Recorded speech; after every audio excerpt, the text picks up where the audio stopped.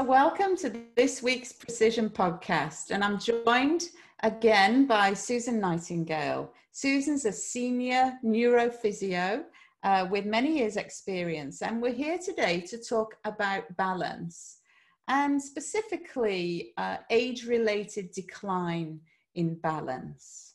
Uh, and so that's because, uh, you know, the, the, the clock's ticking, Susan. I had a birthday yesterday today. uh, still older than me, though. Oh, well, thanks for reminding me. Oh dear. So, uh, so thanks for your time today. Let's get right into it and talk about uh, this um, balance, really, and and uh, why it's so important that we look after our balance. Yeah, well, obviously, balance is a is a key key aspect of movement, a key aspect of mobility. If we haven't got good balance, then we're going to be far more susceptible to falls and trips and slips. And obviously, at different times of the day, if we haven't got good balance, it will become more apparent. So, in a daytime where you've got good lighting, you've got your glasses on, you can see everything, you're going to be less likely to have any trips, slips, or falls. Whereas in the evening time, if you're a bit groggy, if anyone has to get up during the night to the loo, that's a classic time for someone to have a fall. And, um, you know, obviously that can apply to people in an older age, you know, or people at a younger age. So in the evening time, you could be walking along pavements, not so well lit. Uh, there could be potholes, things that aren't mended. And we're just not as, if your balance isn't as good, you'll notice then that you might just go over your ankle. You might twist your ankle. You might have something like that. You might fall, end up breaking something by outstretched hand. It's not just the abs- it's not the older person who you think of that might have a hip fracture, but it could apply to younger people as well. So yeah. that's why balance is so important. And I think quite often in training regimes, it's slightly overlooked. Mm, no, I think you're quite right. Um, and, and, maybe that's because people think it is uh, in the domain of, of older people, but absolutely, you know, in my career as a musculoskeletal physio, if I had a pound for everybody who fell over the dog. yeah, exactly. Exactly. Yeah, so that so that's saying and people trip over their cats and dogs and mats and stairs and they miss a step or they've had a few drinks and that might impair your balance and then you have a fall you know all sorts mm. of things yeah, so it's really important that we uh, we are aware that as we get older, balance is something that uh, begins to become compromised, and there's a different reasons why this happens.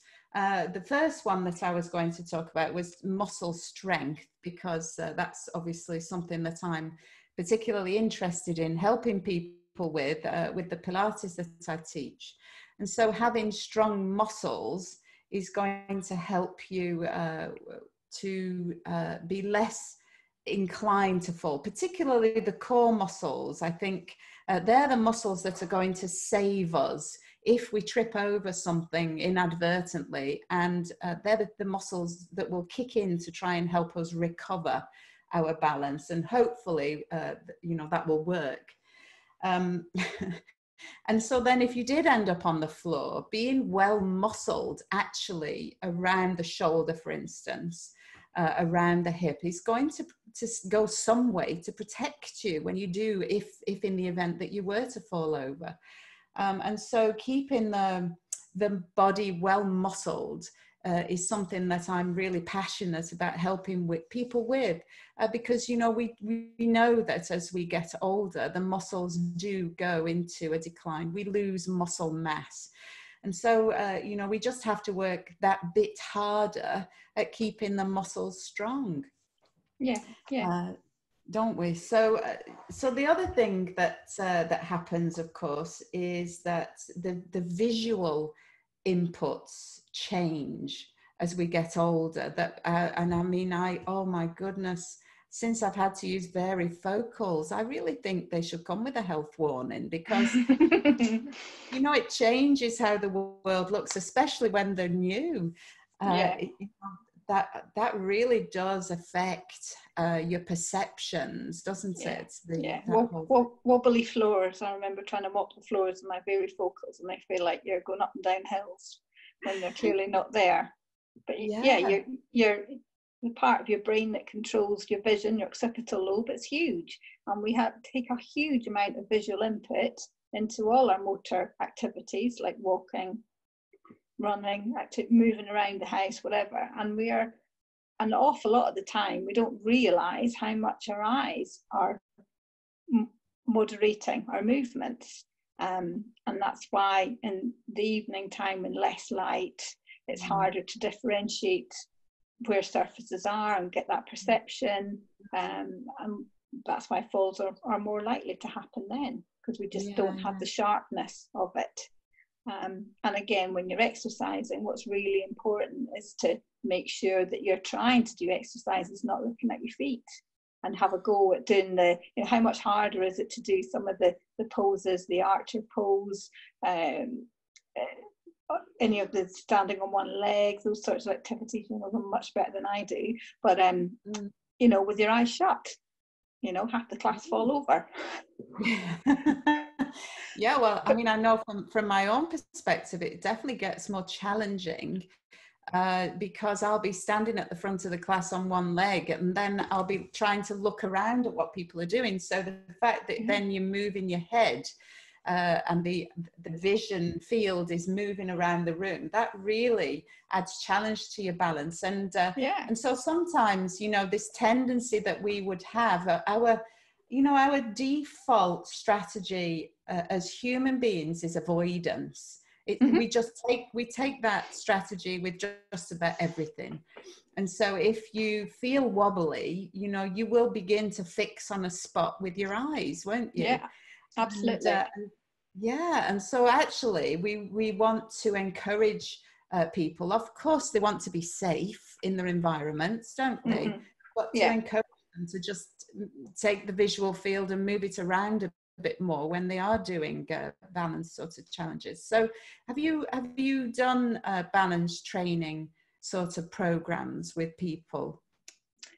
Yeah, so so quite often, um, certainly with um, elderly patients, there were lots of sort of different little tests you could do. One of the nice little tests you had where you made like a little cross on the ground, with walking sticks, very high tech, and you can see whether they can do a four step walking test. So they have to step forward, sideways, backwards, and back to the side. And you see how often they can do that and how well they can do it. And you can just do your basic standing on one leg for 30 seconds. You can see how that is. You can do, you know, even um, the simple things like when they stand up, how far apart are their feet, just trying to bring that in a bit closer. Doesn't have to be as difficult as standing on one leg. And then obviously progress them to we call tandem step. Can they put one foot in front of the other? Can they do um, with the opposite leg as well. So you're challenging both systems. Um, lots of different, lots of different little tips like that, and always making sure that they're looking straight ahead. You know, and if they can do it, can they do it with their eyes shut? So you know, it's it's very simple things, but it's it's interesting how how people just don't realize how much they accommodate and change you know so they'll mm-hmm. they'll put their hand out a bit to give them a bit more balance or they have their feet out a bit wider, or their eyes, as you say, fixed to a point. The, these sorts of things, and and it is just all about um, trying to rehab them, trying to get more sensory awareness of where they are. Really looking on that, so that if you take the vision out of it, you're far more reliant on on the information that your joints are giving you, that your skin's giving you, that your vestibular system and your ears giving you. So using all those um, sensory processes to try and drive an improvement. Yeah, I mean that's that's interesting. You talk about uh, those mechanisms, and we call that proprioception. A lot of uh, certainly for joints, anyway. Your, your joints yeah. have sensors within them, and those sensors send messages to the brain to tell you where you're positioned in space. Um, and so, the less we challenge these systems, then yeah. uh, the less resilient they become uh, gen- as a general rule of thumb isn't it so yeah yeah um, i mean that's the hardest part really is particularly i mean balance the, there's lots of different uh, reasons why people might lose the balance uh, but we're talking specifically about uh, age-related decline, which is, you know, something that potentially happens to all of us if we're lucky enough to, yeah. to live to a ripe old age um, you know, it, we're not talking about the room spinning or uh, you, know, you know those kinds of things. Just the fact that we start to exist in a, a smaller and smaller bubble or we take less and less risks. And you as you say you become totally uh, oblivious to the fact that you are doing that.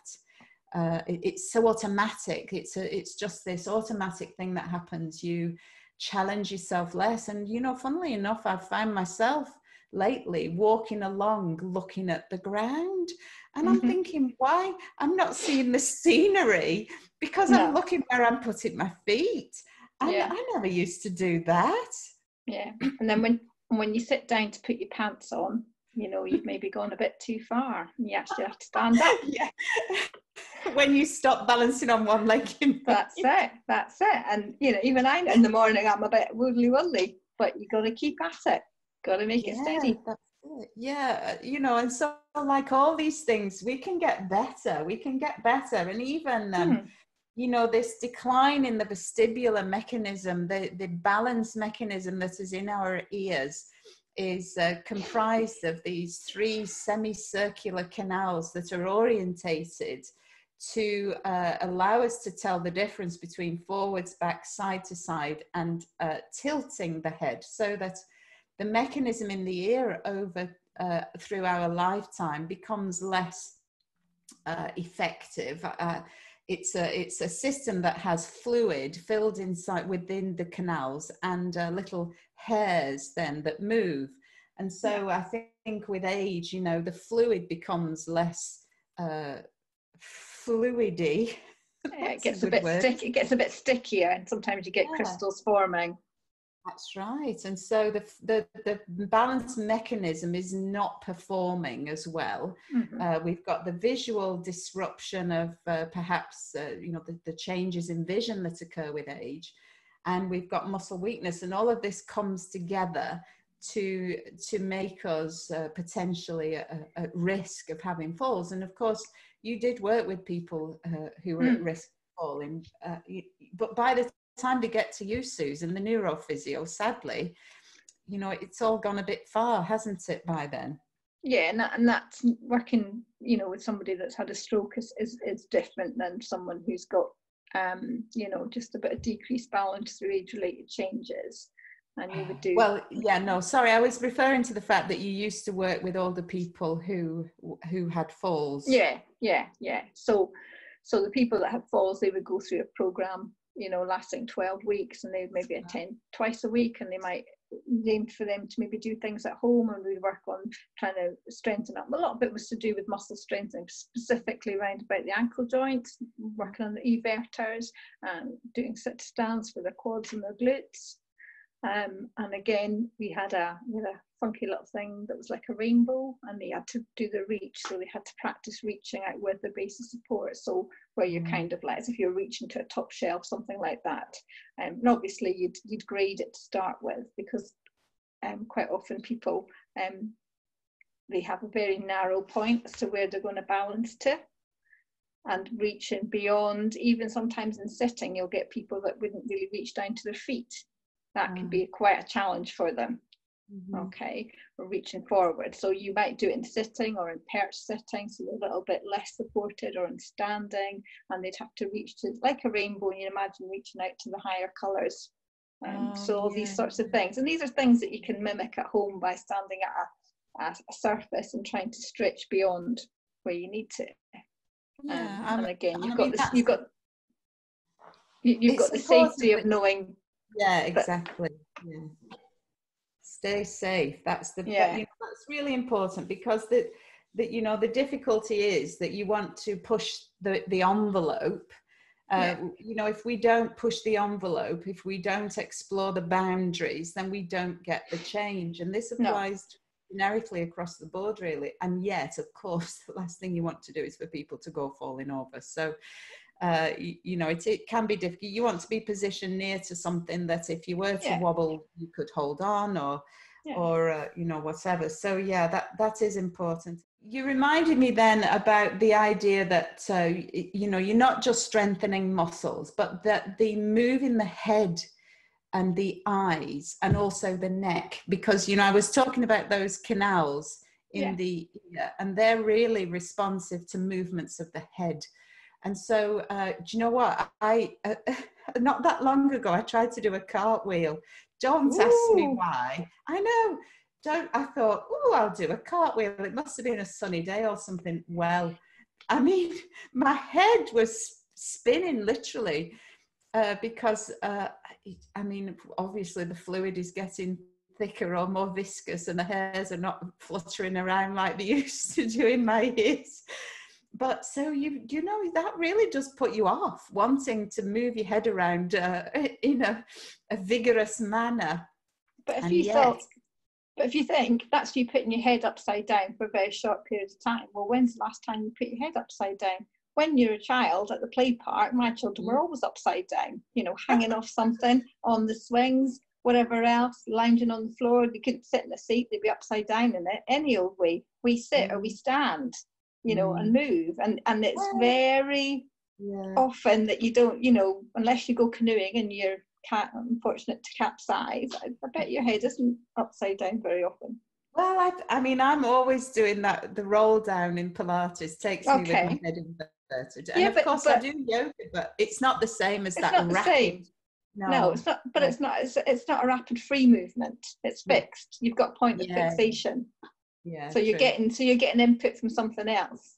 Wow, so I'm gonna have to try a cartwheel now. Yeah, try it. We're, we're not suggesting oh. that people should go out and do cartwheels, are we, no. Susan? But no. uh, like like we, we were saying, balancing uh, either with two feet closer together than you normally would, uh, one foot in front of the other, perhaps, uh, so as if you're standing along a tight rope, uh, or, or on one leg, and then either and or closing your eyes, yeah. Uh, moving the head around as well. The, just as, as simple as that. While the kettle's boiling, uh, you know, just take a moment to, to challenge your balance a little bit. And, uh, it, you know, it's generally when you do things like that that you begin to realize uh, what what you hadn't realized earlier was that perhaps it's not quite as good as it, it used to be um, yeah. and so to intervene sooner rather than later uh, you know yeah. i would say yeah and, and again it's it's great to do things in your bare feet get a lot more tactile stimulation you know so when you're standing brushing your teeth in the morning if you haven't already got your slippers on take them off have a go yeah, yeah, bare feet, because we're getting more messages then, aren't we, through the skin, the receptors yeah. in the skin. Yeah, yeah. yeah. That's like and, in Pilates, you do a lot of Pilates in your socks, or at least it's not in shoes. So it's again no, no. you get more stimulation. Yeah, yeah, that's right. So, well, thank you so much for your time today. I really enjoyed this conversation. Let's just uh, let's just summarize the kinds of things that people can be doing at home to uh, to help them uh, to help to sort of arrest if you like the the rate of age age related decline in balance. Uh, so we talked about strengthening muscles and that's key muscles really for balance isn't it? You talked yeah. about specifically the ankle everters and those are muscles that that move the ankles outwards. Yeah. Outwards yeah. if you were standing uh, so you can do that walking sideways actually. That's quite a nice exercise walking sideways. I always recommend walking forwards backwards and sideways. Just make sure you're not going to bump into anything. Mm-hmm, um, mm-hmm. This, this quadriceps you mentioned a sit to stand sort of uh, exercise. And the other one is is going as if you're going to sit on a chair but then don't touch it and just stand up again uh, so it's a bit like a squat, isn't it? Then. Yeah, yeah. And that's glutes and quads. They're really important muscle groups to, for us to stay strong in the legs. And I mentioned the core muscles because uh, you know we know we know that the core muscles respond to displacement of the trunk, and yeah. so they are partly responsible for uh, for us not falling over. And um, and so then it was about.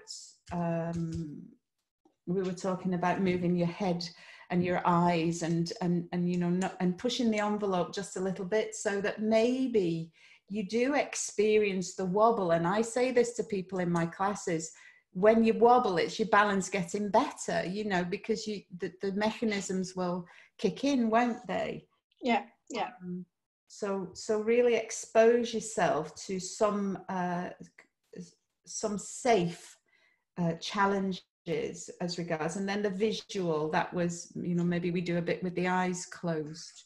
Uh, yeah. Uh, balancing yeah. with the eyes closed or moving your head around is the other thing that I do quite a lot with people. Yeah. yeah. So, did you have anything else that you um, you thought might be I might have missed? No, I think I think it is just the kind of those three three factors, and again trying to get as much awareness of how much you are focusing on things, even when you go out walking over a curb and things like that. Obviously, don't if you have got a problem with your balance, don't do that one. But just even notice what you're looking at when you're doing things that are a little bit challenge to us, which are going yeah. up and down curbs, up and down stairs, carrying something that makes a difference. So you're looking at the load that you're carrying Mm. um, just yeah. just being a, just trying to be a little bit more aware of balance because when you think I the thing that I think is amazing about balance is you can get people who can walk a tightrope across Niagara. so you know we really can push it a long way, you know. But you only yeah. you only did it by getting up on that tightrope. You know, you didn't you didn't do it any other way. You had to actually get on that tightrope and give it a try. And um, so that's how we work on improving our balance. I love that. I, I, love that, Susan. And you know what? We're going to end with that. And maybe I'm not going to walk on a tightrope across Niagara tomorrow. No. But uh, but yeah, let's keep pushing the envelope. Let's keep, you know, let's not accept decline if we can avoid it. And uh, no. uh, thank you so much for your time today. And You're we'll welcome. see you again. Thank you.